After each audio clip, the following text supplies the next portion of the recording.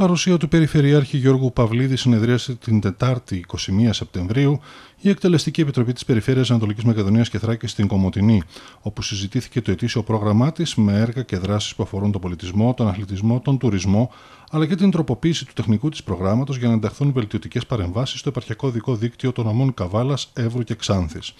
Αξιοσημείωτη επίσης ήταν η επίσκεψη του Μητροπολίτη Μαρονίας και Κομωτινής κ. Παντελεήμονος στον Περιφερειάρχη για να τον ευχαριστήσει για την συμμετοχή της Περιφέρειας στην αποκατάσταση του Μητροπολιτικού Μεγάρου Κομωτινής κόστου ενός εκατομμυρίου ευρώ. Η παρουσία του Περιφερειάρχη του Γιώργου του Παυλίδη και των χωρικών ε, αντιπεριφερειαρχών και των θεματικών ε, φυσικά και της εκτελεστικής ε, γραμματείας συνεδρίασε στις 21 Σεπτεμβρίου του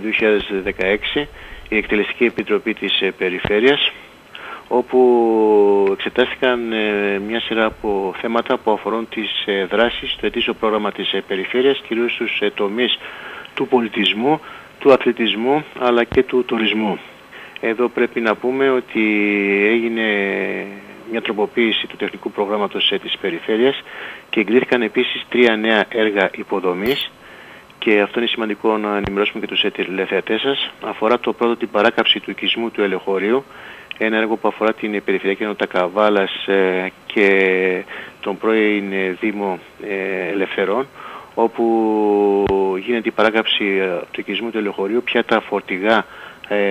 τα ψυγεία τα που περνούσαν μέσα από το χωριό προκειμένου να μεταφέρουν τα σταφύλια σταματάει πια να γίνεται αυτό και γίνεται ένας δρόμος έξω από το χωριό του ελευθερίου που είναι πάρα πολύ σημαντικό για την ανακούφιση των κατοίκων. Ένα δεύτερο έργο αφορά την βελτίωση του επαρχιακού δρόμου Κομάρων Ελιάς ε, στην περιφερειακή ενότητα Εύρο και ένα τρίτο έργο που αφορά την περιφερειακή ενότητα Ξάνθης είναι η βελτίωση της επαρχιακής ε, οδού ε, που αφορά εκεί στο ύψος της γέφυρας Πολυσίτου. Ε, θα υπάρξει εισήγηση στο επόμενο Περιφερειακό Συμβούλιο. Βλέπετε ότι γίνονται ε, όλα αυτά τα δύο χρόνια διοίκησης του Γιώργου του Παυλίδη έχω, έχει εντάξει μια σειρά από έργα από εθνικούς ε, πόρους ε, προϋπολογισμού 110 εκατομμυρίων ευρώ και αυτό είναι πάρα πολύ σημαντικό να το τονίσουμε και να το υπογραμμίσουμε στους ε, τηλεθεατές σας ότι εκτός από τα ευρωπαϊκά προγράμματα, από το επισιακό πρόγραμμα 2014-2020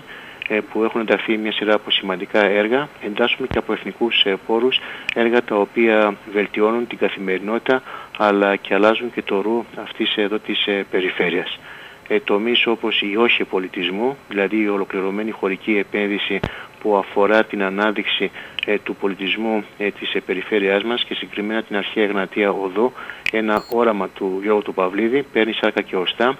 Ε, επενδύουμε σε αυτό το πρόγραμμα 40 εκατομμύρια ευρώ προκειμένου να αναδείξουμε αυτό το σημαντικό ιστορικό, πολιτιστικό ε, αλλά και θρησκευτικό γεγονός ε, που περνάει κατά μήκος όπως είπα από όλες τις περιφερειακές ενότητες την αρχαία Γνατία Οδό που σε συνδυασμό με το αρχαίο θέατρο Φιλίππο ε, που εντάχθηκε πρόσφατα ε, στα μνημεία παγκόσμιας κληρονομιάς της UNESCO,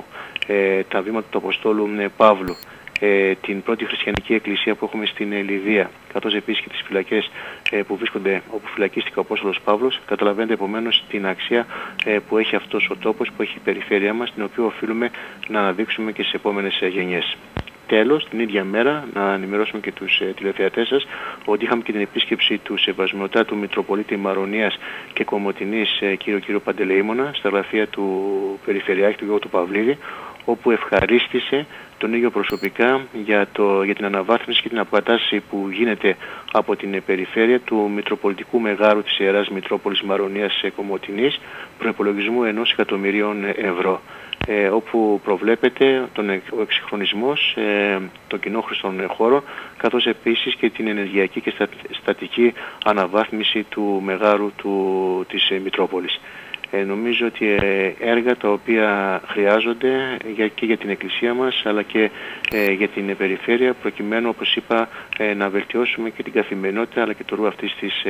περιφέρειας. Συνεχίσει λοιπόν η προσπάθεια της περιφέρειας για παρεμβάσεις τόσο με την χρήση εθνικών όσο και την χρήση κοινοτικών πόρων, τόσο για τη βελτίωση της καθημερινότητας των πολιτών στους πέντε νομούς της ευθύνης της, όσο και για την γενικότερη παρουσίαση και ανάδειξη της πολιτιστικής κληρονομιάς της περιφέρειας.